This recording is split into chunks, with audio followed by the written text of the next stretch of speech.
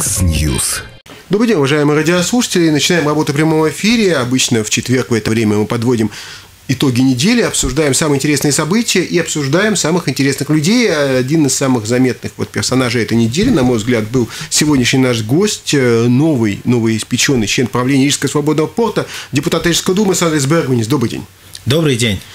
Может быть, такой вопрос, э, я думаю, которого много многие задают, и знакомые, и незнакомые, и журналисты.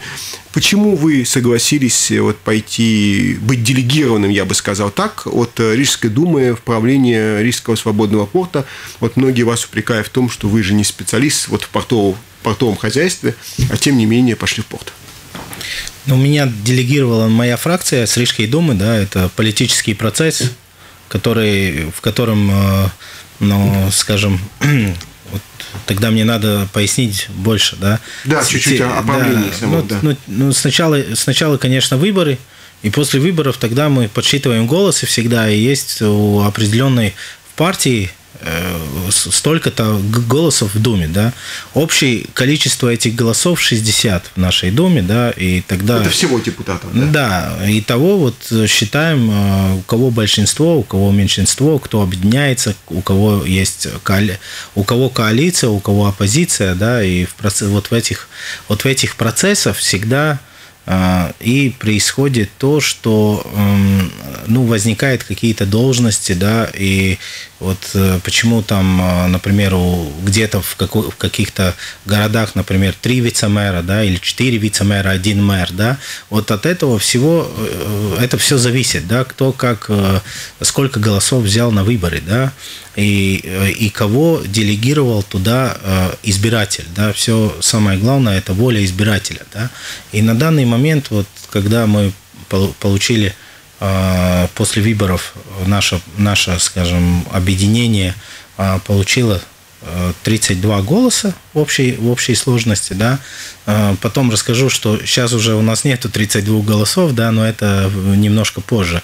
Вот, тогда и вместо с этого идет, что и в порту, и еще в каких-то предприятиях, и, скажем, надо делегировать своих людей. Это как, как бы, ну, так, по простому языку говорить, это политический э, наблюдатель да, за процессами, что там происходит. Да. И порт у нас один из самых э, ну, из таких самых э, бизнес-центров, да, если можно сказать, даже всей, всей Латвии, да, он находится в Риге, да, и его история очень большая, да, он приносит, можно сказать, что если мы говорим в частном секторе, да, то и самые большие налоги во всей стране, да, и, и, и поэтому там нужен человек из которого делегировали избиратели, да, которые э, и меня делегировали туда моя фракция депутатская, да, и чтобы он смотрел за этими процессами и э, принимал какие-то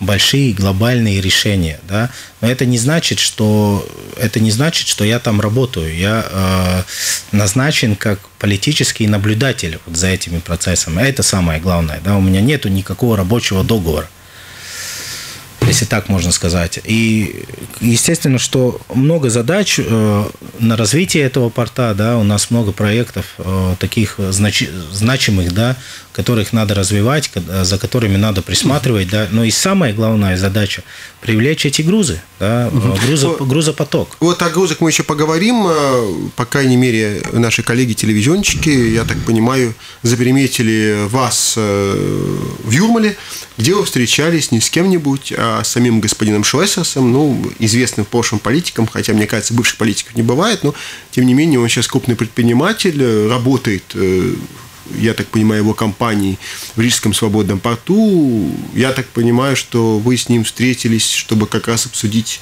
э, вообще ситуацию в Рижском порту и какие-то проекты да, перспективные. О чем был разговор? Я да. так понимаю, что вы не стали даже в интервью отрицать факт встречи. Конечно. А почему, почему мне надо отрицать? Я вообще не понял, почему такой резонанс. Да? Я человек, который делегирован э, в порт, э, которому которому, наоборот, надо встречаться. Я депутат, в первую очередь, да, это моя работа встречаться с избирателями, встречаться с, бизнесменами. Но если меня назначили в порт, и я э, даже вот тот день, когда меня назначили, да, я сказал всем, что я обещаю, что я буду буду изучать, поскольку я до этого в порту не работал ни дня и не был, да, я буду изучать все эти процессы, да, что, чем я могу помочь, какую свою, скажем, свою ну, вклад, да? вклад, да, чтобы я мог внести свой вклад в развитие этого порта и, соответственно, улучшить, э, улучшить именно и, и кровопоток, и налоги и так далее, чтобы наши, нашим Э, рижанам было больше денег для социальных программ и так далее. Да? О чем вы как раз говорили вот с господином э, я, я честно скажу, я его раньше не знал даже. Да? Э, эта инициатива исходила из него. Он... А, не, не забудем еще, что в нашем порту мы в год, в, в год у нас кровопоток ну, грузопоток. Грузопоток, да, значит, в тоннах 46 миллионов тонн в году.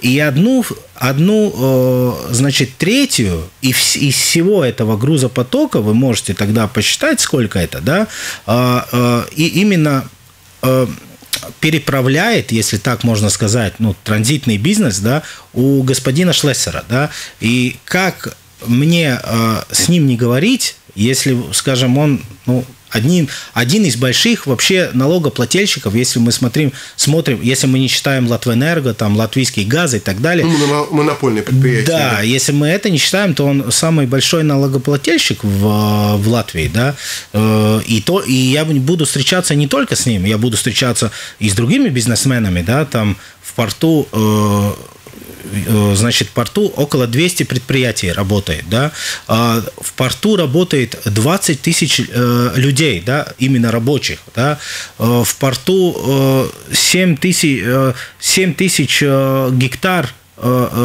если мы говорим площадь порта, да, где, ну, это очень большая территория, где происходят разные процессы, там происходит работа, там постоянно надо за этим наблюдать, помогать э, предпринимателям. У нас же предприниматель э, тот человек, который платит налоги, соответственно, и зарплату платит, э, скажем, чиновникам, депутатам и так далее.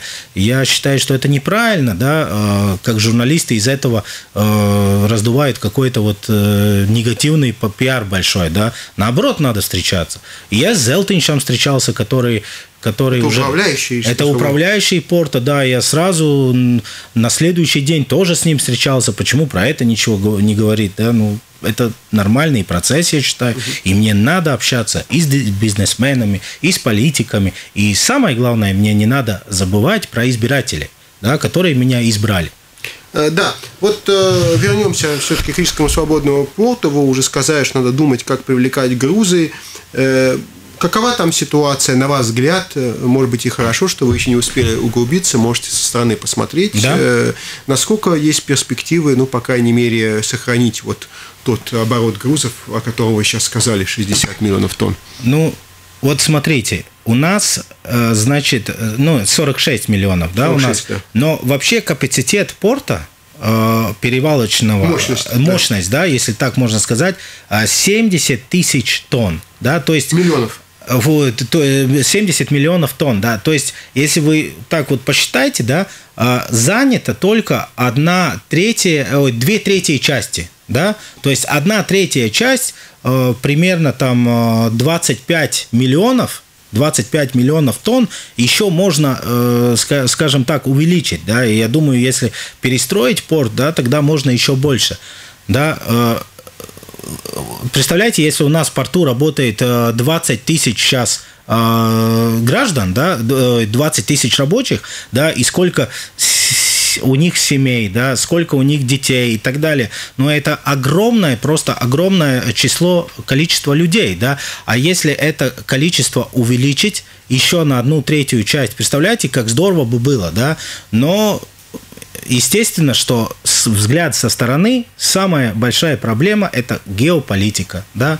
У нас очень большой играющий, э, скажем, по перевалу минеральных, вещ... Э, минеральных грузов, да, которые, вот скажем, они вот такие самые денежные, да, которые вот очень много э, занимает и платит налогов, да, Уралхим такая есть российская компания, да, и, и вот этот Уралхим, он уже собирается уходить с Латвии, потому что их, всегда, э, их, скажем, с российской стороны жмут уходить и переправлять э, вот этот ихний их, их количество вот этих э, грузов на российские порты, на, да? на российские порты, потому что Латвия, э, ну, как вам сказать, ну, вы же знаете эту риторику нашу, да, что э, когда э, э делает санкции э, какому-то из соседних наших государств, да, мы самый, самые первые с флагом машем, вот, и мы, мы за эти санкции, да, вот, а мы не посмотрим на литовцев, да, вот посмотрите, например, литовцы как делают, да, но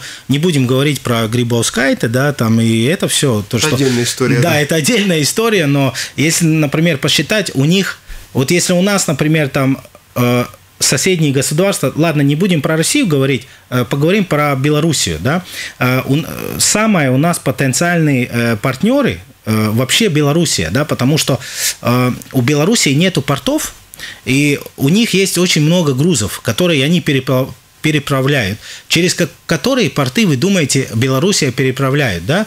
В, в, в литовские порты 70% бело, э, белорусские грузы. У нас в нашем порту, знаете сколько? 6%.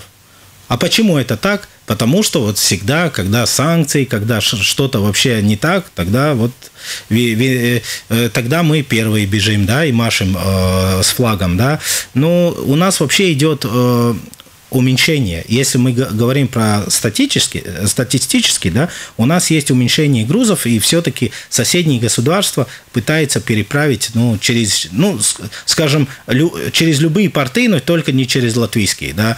Э, скажем, вот эту всю ситуацию надо надо улучшать, надо разговаривать, надо встречаться. И я считаю, это правильно, что, что э, скажем, ну, ну, человек, который отвечает за это, да, не а, который, чтобы надо такого человека, чтобы он был знаком и сам лично с бизнесом, да, не просто человек, который, скажем, из министерства, да, у нас э, общее количество в правлении порта 8 человек. Да? 4 от министерства да, и 4, 4 от Рижской думы. Да, 4 от министерства, и там при том разные министерства, там экономическое, финансовое, да, транспортная, да, и четвертая, ну, в общем... Министерство среды и регионального развития. Да, да? ВАРом, да. да. А, вот, и четыре представителя Думы, да, и, э, ну, я думаю, что те, э, ну, как говорится, а чиновники из министерства, они не будут искать новые, новые э, скажем, контакты. Да? Именно вот Думская... Э, и грузы тоже искать не будут. И грузы тоже искать не будут. Э, именно думская сторона должна заботиться вот об, об, об этом приросте грузов, и они должны встречаться с представителями других государств и разговаривать. И, и, и лучше, если у них в голове да, как сказать, дружественная политика к этим государствами, да, а не так, что э, со всеми надо сначала поругаться, а потом спрашивать у них, а почему вы не переправляете грузы, грузы через наши порты, да? Вот такая. Э, могли ли вы отказаться от э, должности члена правления порта? Мог, мог бы я отказаться? Ну, или вы человек команды, вы должны были... Э, да, но теоретически отказаться я бы мог, но тогда мне надо... Тогда я бы подвел э, мою фракцию, которая меня выдвинула, да. Естественно, что это все было очень-очень э, так быстро случилось, да, потому что мы проснулись 20 числа, 19 числа у нас до вечера было выборы мэра, 20 мы проснулись, что мэр у нас выбран, да, и сразу пошли следующие выборы вице-мэра, да, и... То есть два дня подряд было заседание. Два помню, дня по подряд, часов, да. да, и вообще э, я еще, я честно говоря, 19-го, э, когда было выборы, э, с утра выборы мэра, я думал, ну, ну я, я был убежден, ну, скажем, на 60, на 70 процентов, что будет внеочередные выборы – да. Не, то есть фактически, что вы не договоритесь по поводу мэра. Что мы не договоримся и что все-таки эта четверка не угомонится, да. Угу. Вот о, неочи... о возможности внеочередных выборов и почему все-таки они не состоялись, мы поговорим, может быть, в первой, еще во второй части. Да. Возвращаясь вот э, все-таки э, к работе вот э, в порту, в правлении, вот вы пообщались с управляющим портом, господином э, Зелтинчем, господином Шрессерсом. Вот э, все-таки у вас есть такая убежденность, что ну, порт и дальше будет одним из ключевых предприятий вообще Риги? Я так понимаю, что официально там работает, по-моему, 20 тысяч человек. Если взять семьи, то фактически с Рижским портом связано где-то 60 тысяч рижан. Это, мне кажется, очень много. Очень много. Это очень много, и это значитель, э, значительная часть нашего, нашего рижского населения. Да? И даже, может быть, и не рижского, да? может быть, это и дает э, работу кому-то, который э, живет за Ригой, да? но все равно, ну, такой э, значительной части вы, ну, нет у нас таких заводов, да, чтобы так работали, да, у нас, в принципе, и основное, основное прибитие налогов это от, э, от портов, и... Ну, все, что, все, кто там работает, стивидоры, да, ну, да? от транзитного бизнеса, да. Это и железная дорога, это и, как вы сказали, стивидоры, это и э, транзитщики, которые занимаются разными э, снабжениями, это и ремонт кораблей и так далее. Все, что с этим связано, да. Угу. Мы во второй части поговорим действительно о том, почему не состоялись внеочередные выборы. Но вот э, на ваш взгляд, э, все-таки, если вас спросили, поскольку я так понимаю, что коалиционный договор предусматривает, что вы можете стать вице-мэром, ну, фактически в следующем году, с января, вот на ваш взгляд, какие сейчас должны быть приоритеты вообще в работе Рижской думы, поскольку все-таки ну, мы можем исходить из того, что раз мэр избран, и коалиция да. большинства, несмотря на все противоречия, все-таки удалось создать. Видимо, до очередных выборов, до июня 2021 года Рижская дума доработает. Вот на ваш взгляд, какие сейчас приоритеты должны быть у города? Я считаю, что приоритеты, одни из самых э, больших, это дороги, да, потому что мы все можем посмотреть какие у нас дороги, да, и, и еще очень важный приоритет – это социальные программы, да. У нас предстоит очень тяжелый бюджет, да, и, но нам надо все равно настоять на наши социальные программы, и мы знаем, что у нас дыра получается в Rīgas satiksme сейчас, да, и, но мы должны сложить бюджет так, чтобы не пострадали вот именно эти э, э, atlaides, как, как это? Льготы, чтобы... А, льго, льготы, да, и социальные программы, которые у нас э, мало обеспечены. вы думаете, что льготы на проезд в общественном транспорте останутся? По крайней мере, так говорил вчера и мэр Риги. Да, мы будем на это настаивать, и мы будем делать так, чтобы и были, были эти э, эти льготы в общественном транспорте, ну и естественно, что школы и детские сады, э, вот эти бесплатные обеды. Это наши самые такие важные моменты, которые не должны пострадать. И в принципе, и а это был один из таких аргументов серьезных, да, почему и не должны были быть неочередные выборы. Э, что касается еще, может быть, несколько слов вообще о вашей дальнейшей деятельности как э, член правления порта. Я так понимаю, что сейчас в ближайшее время вам придется выбрать и председателя порта, его нет, и э, заместителя председателя, да? Да, ну я пока об этом ничего не могу сказать, потому что я не знаком еще с, со всеми членами правления порта, да. Я, может быть, э, познакомлюсь, когда мне тогда сложится какое-то собственное мнение о о тех людей, которые работают. Но я считаю, что исторически было так, что, э, что председатель правления порта это, это мэр или вице-мэр, да, то есть э, господину Бурову, как говорится, вот, ну, он должен быть э, в этой должности, да, поскольку он уже давно в Думе, он знает все эти процессы. Может быть, он в порту не работал, но так принято, что все-таки порт находится в Риге, и поэтому вот какое-то высокое должностное лицо, которое командует Ригой, да, та и командует портом. Так было исторически. Как будет на этот раз, э, я не знаю, но я, по крайней мере, если у меня будет такая возможность, наверное, буду за него. 612-939, телефон прямого эфира, работает и WhatsApp 230-6191. Во второй части вы сможете и звонить, писать комментарии, как я уже сказал, в WhatsApp вы можете прямо сейчас. Сандес Бергмейс на студии, новоизбранный член правления Рижского свободного порта и депутат Рижской думы от фракции Согласия. Прервемся ненадолго, новости реклама. Во второй части я вижу, что уже есть звонки, будем их тоже принимать. Mix News. Еще раз добрый день. Э, Сандрис Бергманис у нас э, в студии, новый член правления Рижского свободного порта и депутат Рижской думы. Давайте поговорим о том, о чем мы обещаем нашим радиослушателям.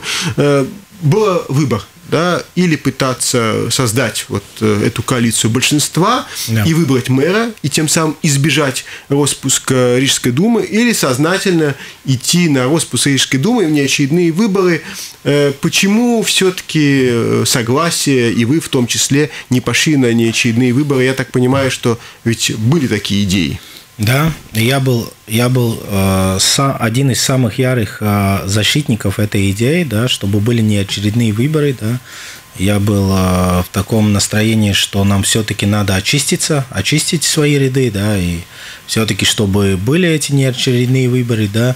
Но э, вот как вам сказать, меня моя фракция, да, в конце концов переубедила, да, потому что, во-первых, я человек команды, я был в меньшинстве, да, и, скажем, мне переубедили эти аргументы, да, что все-таки... Какие? Ну, что все-таки мы должны думать о нашем избирателе, да, которые не хотят, чтобы были э, такие худшие э, перемены э, в городе в худшую сторону, да, те же самые социальные программы никто не хочет, чтобы закрыли, да, те же самые, э, те же самые вот эти льготы транспортные и так далее и тому и прочее, да. Э, все-таки был риск, что если были бы не очередные выборы, мы бы могли, э, мы бы могли остаться в оппозиции, да. Э, вот этот риск был, но даже не об этом если речь. Даже вот я, например, не боюсь этого, да. Ну, остались бы в оппозиции, и тогда мы должны были работать очень сильно, да, чтобы а, не остаться в оппозиции в 2021 году, да. И я готов к работе, я всегда был готов к работе, и, а, скажем, мне это не пугает, да. Но вот большинство фракций решило в конце концов так, и вот. Я так понимаю, что один из аргументов был ваших коллег, которые были против неочередных выборов, э, если я не прав, и меня поправьте, да. они считали, что если вот, ну, неочередные выборы, они не отменяют очередных выборов. И получается, что да. пока там будет назначена вы, дата выборов, еще предвыборная кампания, 2-3 месяца пройдет. В общем, в результате эта Дума, которая была бы избрана, например, в январе, да. она бы проработала до очередных выборов менее полутора лет. То есть получается, что работы бы не было, да, была бы только предвыборная кампания. Да, конечно. И еще был риск, что если, например, они бы не случились до этого января, да, если бы не очередные случились позже 6 э, февраля, то вообще можно было и не созывать выборы. То, ну, не устраивать выборы, то можно... Э, то власть просто бы взяла в городе Министерство среды и регионального развития, да? Да, совершенно верно. Тогда бы были пару ставленников, да, которые выполняли бы функции мэра, и функции депутатов, да, и принимали решения полтора течение полтора года э, принимали решение, как они посчитали бы нужным, да, и я вас могу уверить, что все, все социальные программы были бы тут же закрыты, да, потому что они бы не смотрели, откуда еще, как, э, где достать деньги, чтобы э, все-таки этим социальным программам быть, но они бы не заморачивались на это, они есть, бы смотрели, нету денег, закрываем то есть вы думаете, программу. что даже бесплатный проезд для пенсионеров был бы отменен? Ну, естественно, если бы это было а, отменено, в Rīgas satiksme бы не было этой дырки и не было бы э, нехватки денег. Ну да, потому что, насколько я понимаю, все-таки многие забывают, в том числе уважаемый премьер-министр, который разразился с критикой Rīgas satiksme, что общественный транспорт – это и социальный проект. Да? Вы не да. можете возить по себестоимости. Да? По... И, уже, и уважаемый министр забывает все время, что Рига каждый год платит в… Э, в фонд выравнивания, в, да? Да, фонд выравнивания других – других самоуправлений почти 100 миллионов каждый, каждый год, да, и, и сейчас он, он сразу говорит, что вот из-за этой дырки там государству надо это покрывать. Ну, можно, может быть так выйти, что государство может быть, но об этом сейчас не идет речь, но орать громко и делать свой политический пиар на этом сразу можно, да, забывая о том, сколько Рига вообще платит э, э, другим самоуправлением, да, в том числе и Если бы не эти платежи, может быть, хватило бы Rīgas satiksme. Конечно, и самое главное, а э, почему он не говорит то, что вот как, в каком состоянии у нас дороги, да? Э, почему он не говорит, что в течение 10 лет были, были урезаны все возможные дотации, да, ремонтом наших дорог, да? Раньше было, что государство с, э, с городом наполовину ремонтировали мосты, сейчас это уже нету, да? Раньше были субсидии, да, от государства за то, что, например, там та или иная дорога там где-то перекрещивается, тогда вот и государство помогает, да.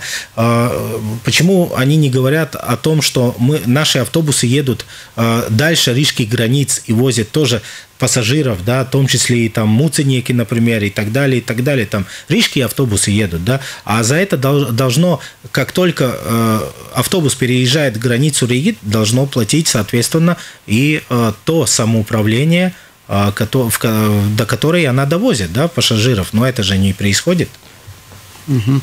Да, вот э, еще, наверное, один важный момент, э, который нельзя забывать, что вот э, если Рига столица, да, то она выполняет целый ряд столичных функций. Да? Да. И это от Риги требует, хотя это нет отдельного закона, но это от Риги требует. Сейчас, да, вот мы видим все, те, кто едут в Юрмалу, обратно, вот и происходит такой колоссальный ремонт Юрмальской трассы. Но да. только до Риги, это если из Юмольского направления, да? да. И только начиная, если от Риги, Бабиты, то есть рижский участок государство не трогает, да? да. Только Бабиты, которое тоже не самое бедное самоуправление. Да. А я так понимаю, что Рижская дума при этом ремонтирует издание госполиции, которое в Риге находится Конечно. и так далее. То есть здесь такого паритета нет, я так понимаю. Да, издание и открывает новые издания, где, которые мы ремонтируем на, на, за свой счет, и там госполиции угу.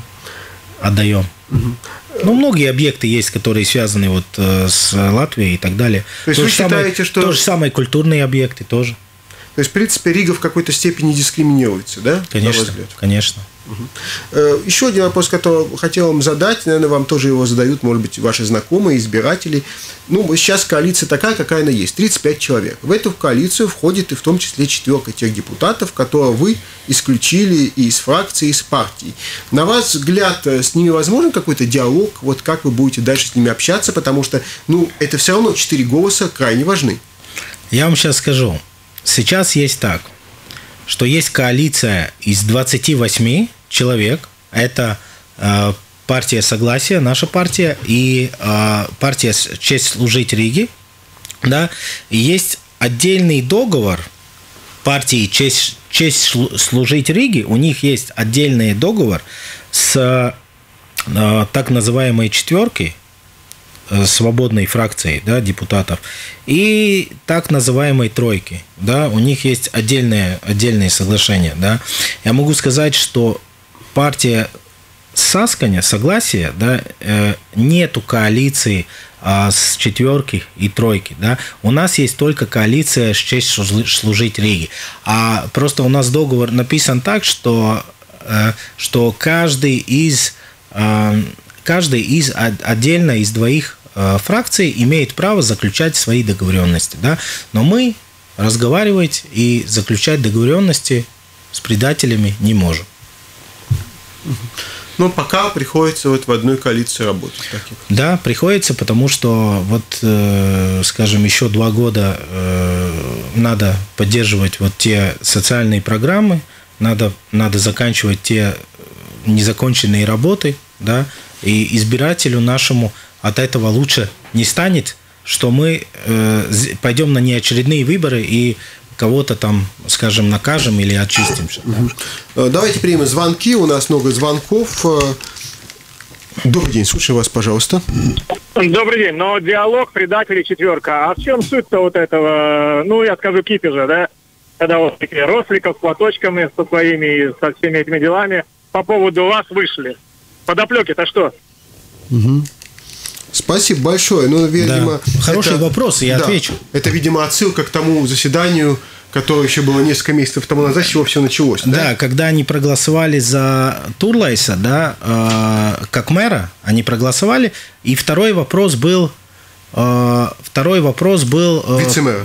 про вице-мэра, меня как вице-мэра, и, ну, там два вопроса было в одном пакете, было два вопроса. Меня как вице-мэра и Бурова назначить э, в порт да, и он, э, он был э, как бы э, думан, что он отказывается от своей должности вице-мэра и идет управлять, становится председателем Рижского свободного порта. Вот, там, да, да, не надо, не надо забыть, что там было два вопроса, не один, а два вопроса. Так. И они ушли и не проголосовали за два вопроса, да.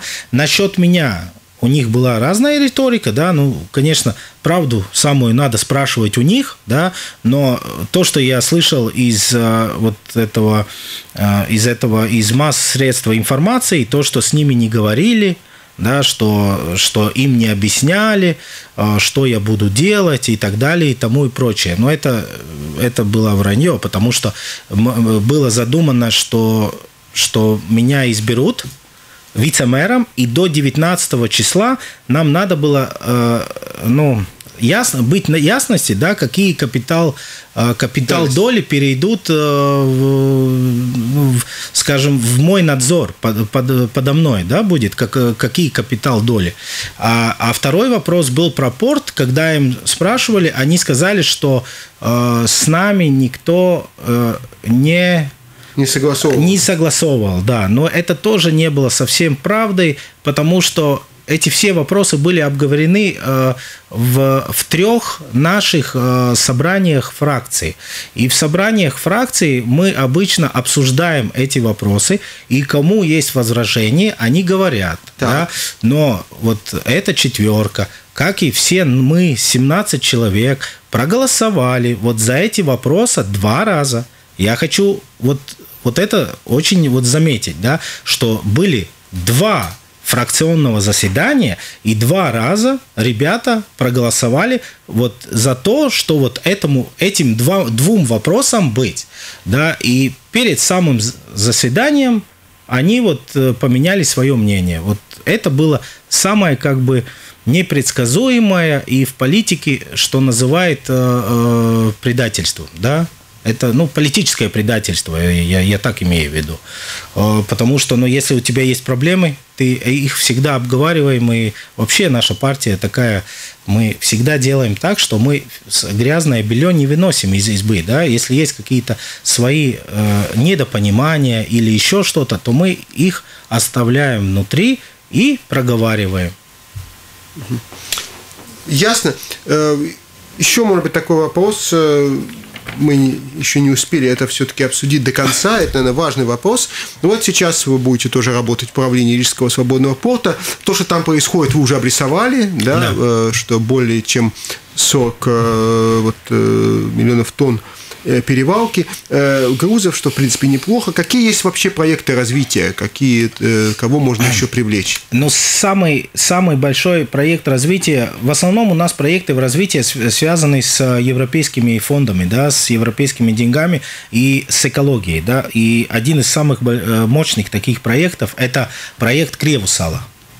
Да, когда вот освобождается этот тихий центр, да, демонтируются вот эти рельсы, которые на экспорт, и которые вот давно уже мешали жители, и не только рельсы. Эти сипучие грузы в основном а, а, я не рассказал, что в нашем порту а, основной груз, который перевал, основной груз перевалки это уголь, да. И когда уголь дробили здесь вот э, здесь, э, скажем, в рижской части, да, в части тихого центра, где вот были эти расположены эти угольные большие большие плантации агломерации, да, оттуда все время, ну, Тихому центру и дальше жителями, когда э, ветры менялись, заносили вот это, заносилась эта угольная пыль была везде, да, и это очень большой экопроект, э, европе, э, с помощью европейских денег 170 миллионов, это очень общий бюджет, э, общий бюджет этого проекта, да, скажем так, было осно, ос, основано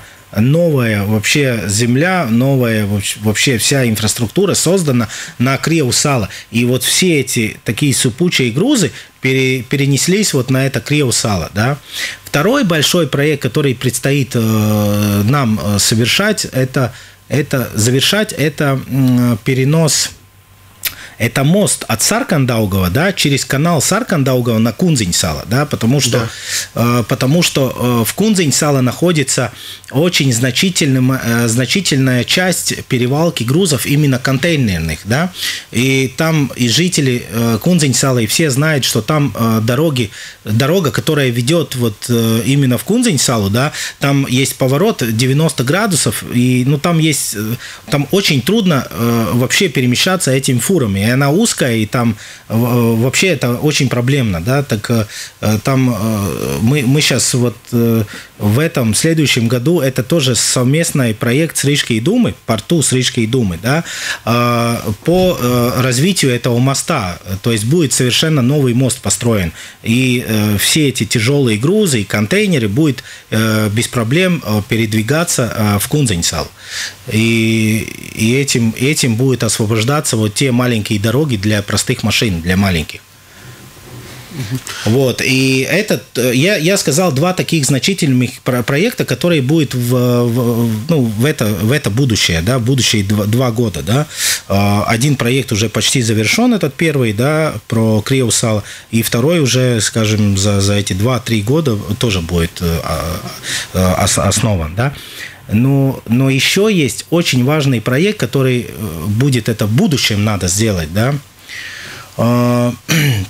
Там, где корабли входят э, в, в, реку, в реку, да, с моря, в Даугаву ходят, а мы все знаем, что там есть два молса, угу. да, и, скажем, именно вот вот именно то углубление, где может... А, скажем, насчет углубления тогда мне надо рассказать. Вообще э, корабли, все, которые заходят э, в Рижском порту, они не, глу, не глубже 15 метров. Да? У нас вообще в Рижском порту вот именно эта корабле, кораблейная дорога, она 17 э, метров глубиной. Это почему? Потому что... Нет углубления достаточного да, для больших кораблей? Нет, не, не надо углубления, потому что это невозможно проходить больше через Балтийского моря кораблям. Балтийское море само, оно э, намного глубже, да, но э, э, есть очень важный, важное, важное место в, в Балтийском море, э, э, дачанский этот... Э, Дани Шаурас, Шаурумс. А. Понятно. Э, дачанское сужение, да, да. И, и ирбенское, это второе, да, это, второе. Опять, это опять второе, да. И, полив, там, да. и там есть, э, значит, проходимость максимальная грузов 15,8 э, метров глубиной. Вот только поэтому. И в наше время уже корабли, вот все эти большие Панамаксы и так далее, да, они э, поэтому, что мы знаем все, что такие большие глубины больше не делают, да, они стараются делать их э, шире и длиннее, да. И представляете, если там, например, самый большой корабль например, Panamax, да, который вот большой категории, он длиной э, э, почти 300 метров, да, и шириной 50 метров, да, а между этими, между этими, э, как вам сказать, между этими молсами, да, проход 100 метров, да, вот именно, этот, э, именно это вот углубление идет, ширина его 100 метров. Представляете, вот такой большая махина, если она становится посередине этого углубления, то у них получается 25 метров в одну сторону, 25 в другую. И как она будет проходить, ну это вот, она занимает очень, это денежный очень большое вложение, да, надо, и там надо европейских денег. Миллионы, э, миллионы, да? Миллионы, миллионы, да, но это вообще, это надо сделать, чтобы вот эти корабли могли разми, размываться, да, разменяться между угу. нами. Вот это такой фьючер проект, очень важный и очень э, нужный для нашего порта. Спасибо большое. Ну, еще много вопросов не успели обсудить, но, по крайней мере, ваша позиция ясна. Э, член правления Рижского свободного порта и депутат Рижской думы Сандрис Бергманич у нас был в студии. И большое спасибо. Большое спасибо.